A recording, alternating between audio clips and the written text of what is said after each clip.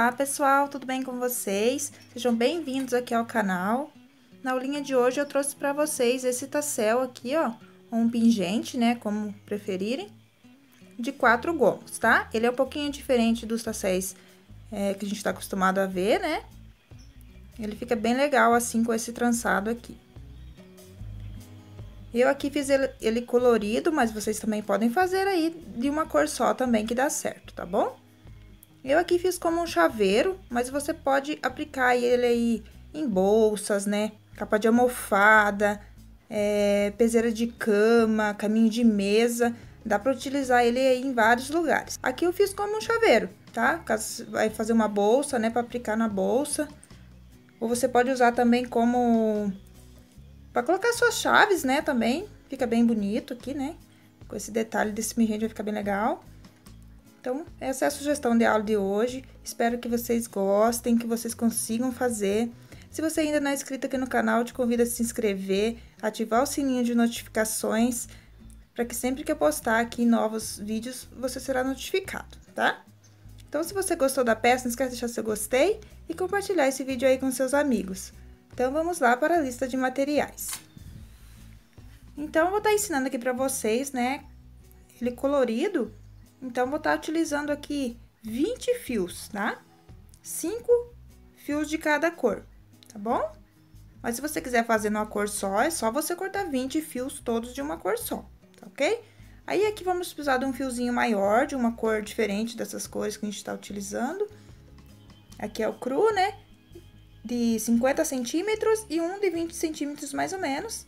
Aí, uma agulha de crochê para auxiliar aqui na, na confecção aqui do tassel agulha de tapeceiro também.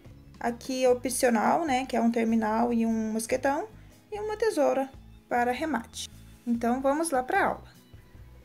Então, vou começar aqui com a cor rosa. Você pode começar aí com a cor da sua preferência. Então, a cor rosa eu vou deixar ela assim, ó, vou dobrar o meio e deixar assim. Aí, eu vou vir aqui ó, com a cor azul, vou passar aqui por debaixo, ó, do rosa e vou dobrar aqui por cima. Deixando as pontas aqui do mesmo tamanho.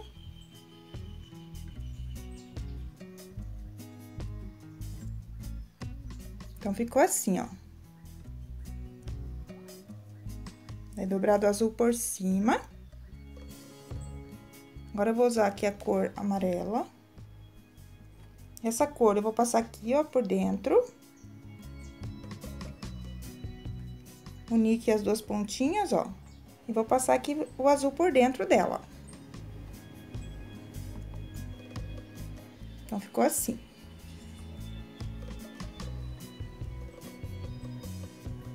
Tenta deixar as pontas aqui no mesmo tamanho, tá? Não vão ficar todas do mesmo tamanho certinho, né? Porque é difícil você organizar que elas fiquem todas as pontinhas do mesmo tamanho. Aí, após feito isso, a gente vai pegar a última cor. Vai dobrar assim também, vai passar aqui, ó, a cor amarela por dentro. E essas duas, vai unir as duas pontas aqui e vai passar aqui por dentro do rosa. Assim.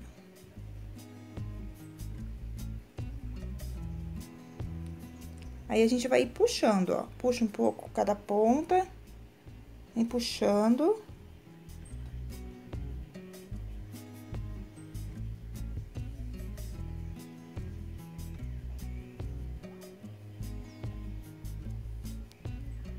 Até que elas se unam.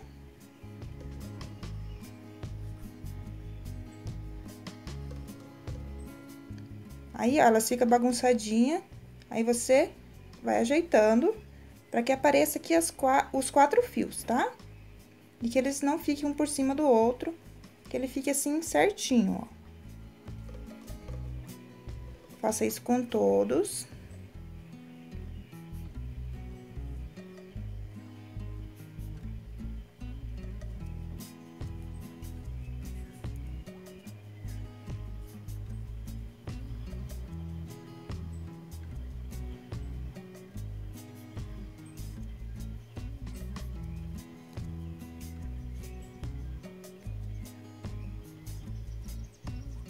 Então, deixa eles bem certinho. E dá mais uma ajustadinha, todos eles. Então, ele vai ficar assim, ó.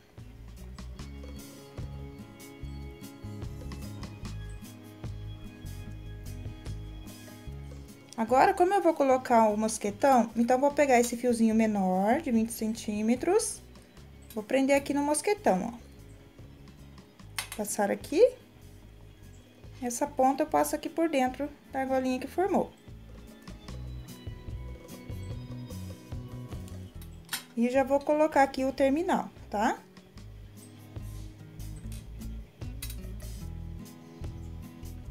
Bom, aqui eu consigo passar uma pontinha sozinho. A outra pontinha já fica mais ruim de passar ali por dentro. Então, vou estar tá utilizando aqui a agulha de tapeceiro.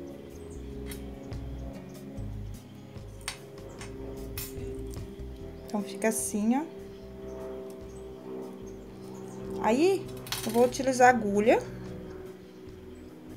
Vou entrar aqui, ó, pelo lado avesso da minha peça, bem no meinho.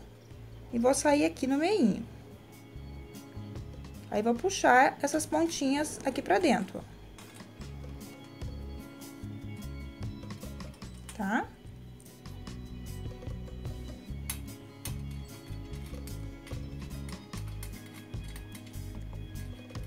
Aí, aqui, eu vou pegar uma alcinha de uma das partes aqui, ó. Um fiozinho. De um lado. E um fiozinho aqui do outro lado passar, né, meu fio por ela. E aqui eu vou fazer um nó. Bem justinho. Pra que esse terminalzinho aqui, ó, fica bem, bem próximo aqui os gominhos. Então, aqui eu faço dois a três nozinhos. Aqui pode cortar essa ponta.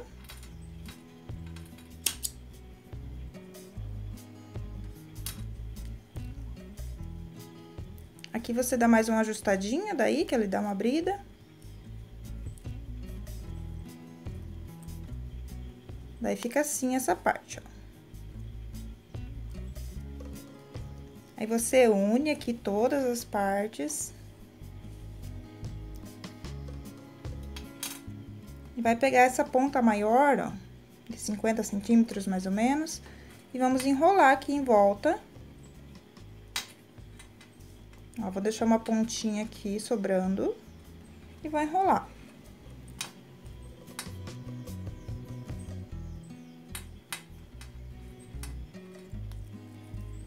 Aqui o tanto que vai enrolar vai a gosto, tá? Você quer que fique um bastante, fique grande essa parte, você enrola mais vezes.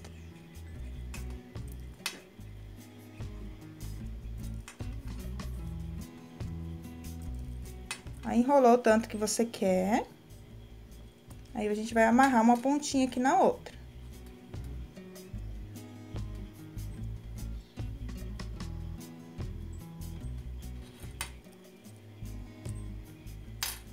Faz dois nozinhos.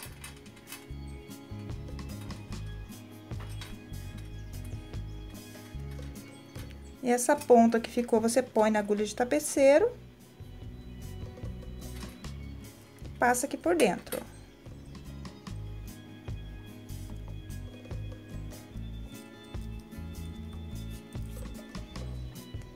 Puxa bem. Que esse nó a gente não quer que apareça muito, então, a gente puxa bem puxadinho.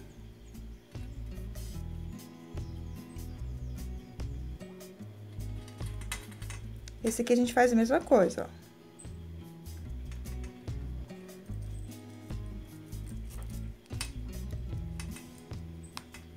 Aí, aqui você tenta esconder o nozinho o máximo que você conseguir.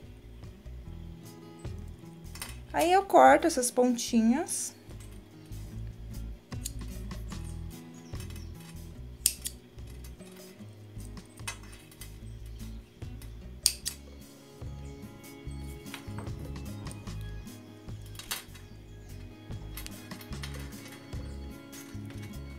Aqui é só parar as pontas daí, tá? Pra ficar todas do mesmo tamanho.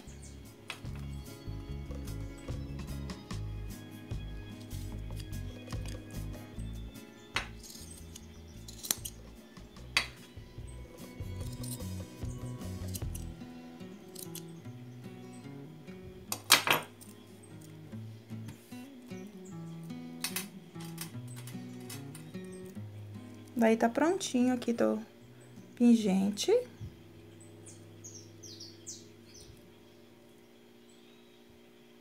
Vou explicar aqui agora pra vocês, caso vocês não queiram colocar essas duas pecinhas, tá?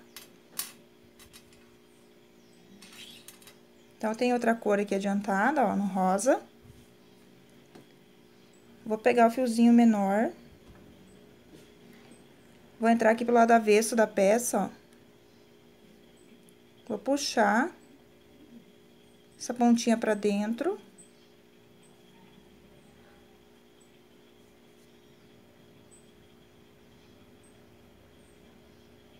As duas pontas. Ó, bem no meio também. E aqui você pega uma alcinha de cada lado aqui.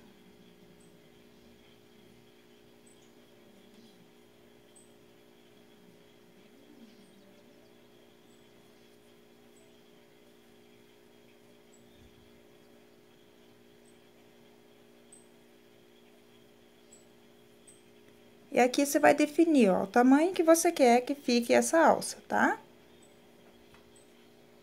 E aqui você amarra.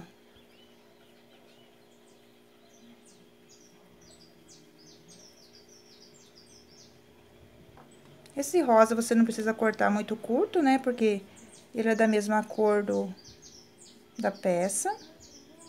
E aqui fica a alcinha, ó. Daí você ajusta bem aqui. E vai fazer a mesma coisa, ó, vai juntar as partes pra baixo.